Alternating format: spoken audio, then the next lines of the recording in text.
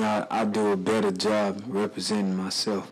Today, jury selection continued for that man accused of killing a Fort Myers police officer. And for the 11th time since the trial started on Monday, the judge has asked Wisner Desmaret if he would consider using an attorney. But that did not change today.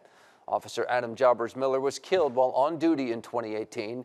Desmaret has turned away more than 250 potential jurors. NBC2's Trent Bennett is live at the Lee County Courthouse explaining why three particular jurors were sent home today. Trent?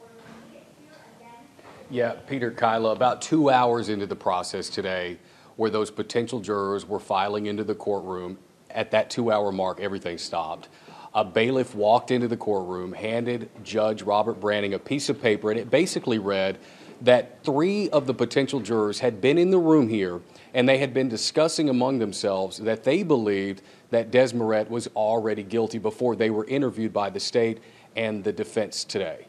And then all of this happened. We received information from the bailiff.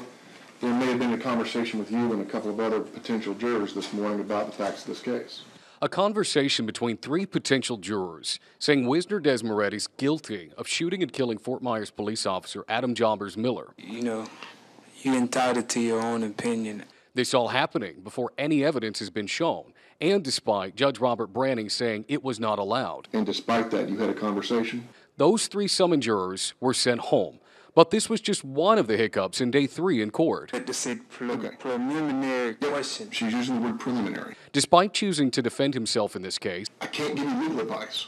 Desmaret is not getting legal lingo terms that Judge Robert Branning says he should going into a fight for his life. I, I got a couple questions to ask during the preliminary hearing. And, uh, what is Simone? What, what that means? As Desmaret stumbles through this part of the process. Again, we are getting to the point where I think I'm, I'm, I'm on the verge of giving you legal advice. Judge Branning has told him, buckle up, things are only going to get more difficult from here.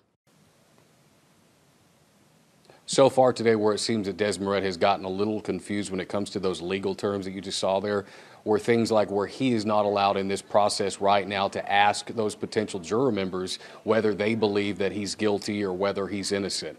Judge Robert Branning told the defendant today that he will have that opportunity tomorrow when round two and when we see a lot of these potential jurors return back here to the Lee County Courthouse. We're reporting live and local for you. Trent Bennett, NBC2.